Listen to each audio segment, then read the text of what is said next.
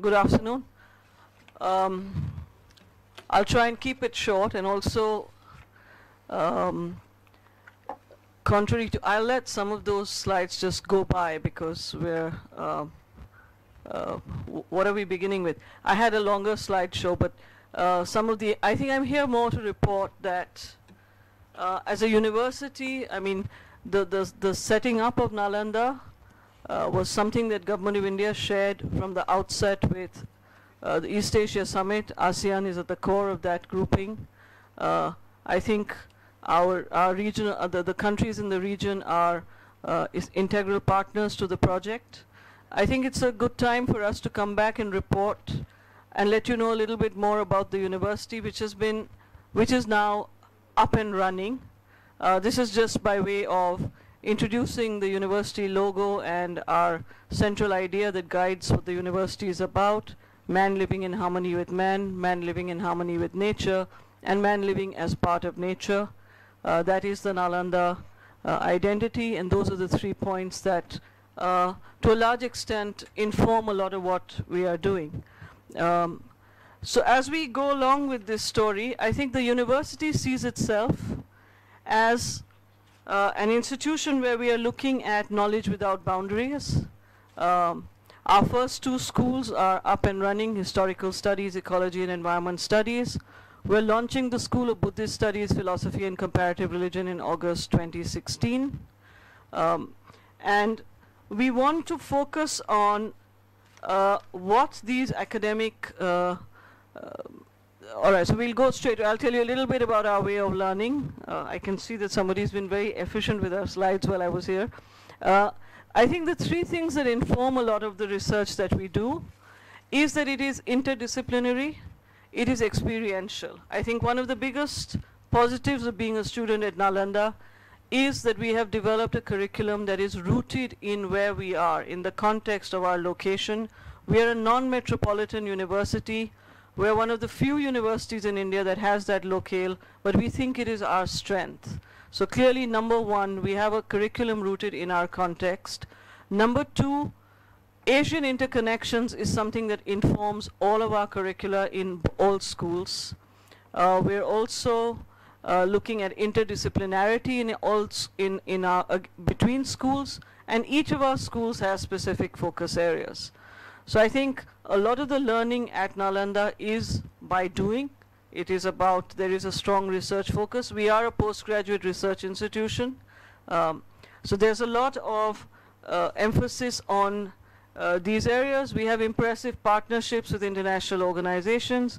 Um, ISEAS from Singapore is uh, one that uh, uh, will, you know, we, we are hosting somebody from there. Um, we, we are just on the verge of signing an MOU with Peking University, uh, the School of Forestry at Yale, the uh, School of uh, Agriculture at Urbana-Champaign, uh, CIMMYT, the Borlaug Institute. So there are some impressive partnerships that are happening. Uh, what we are managing to develop, even though we still are in temporary surroundings, is clearly an international community.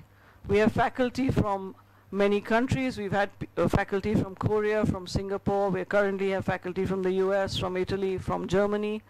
Uh, we have students from Japan, Laos, Bhutan, and Myanmar. Uh, we have visiting scholars from other countries.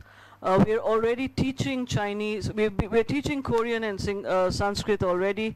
Chinese will begin with the School of Buddhist Studies next semester.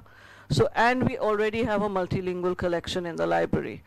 So I think uh, all in all, uh, endowments are coming in, uh, both from governments and from individuals. Uh, of course, we also know that the Singapore uh, donors were on our with us last month. Uh, Singapore has a group that is donating the library for Nalanda. Uh, the idea is to design, build, and deliver the library for New Nalanda. Uh, this is just some snapshots of visitors who have been coming in.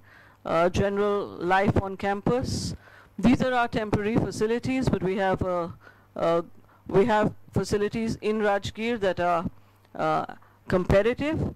Uh, we have a good student hall and um, a good office block come living space for our faculty. Uh, and we're now moving ahead. These are just glimpses of our design competition. At the end of our global design competition, this was what New Nalanda is supposed to look like. So I'll just quickly let you see some images of what is going to be a net zero campus. It's probably the largest ground up net zero campus that has been attempted anywhere. Uh, that means net zero energy, water waste, uh, and emissions. Uh, so some of the images is from the new campus that should be should commence construction very soon is what I will leave you with, including a first look I think at the new uh, library that we have from uh, Singapore. Um, and we're hoping in the next 25 years ahead, Nalanda will become the space where uh, the new Asian Renaissance will uh, take place. We will be able to match the excellence of old Nalanda. Uh, we will be able to respond to the needs of the world and once again uh, recover uh, a lot of valuable old insights, linkages, I think a lot of things that the people in the civilizational dialogue session we have talked about. We are going to have a Uh, uh, sorry, I put a timer for myself. We, we will have an archive and resource center. We're hoping to become the hub where Asia once again meets intellectually and rediscovers linkages. So these are just some images. Thank you.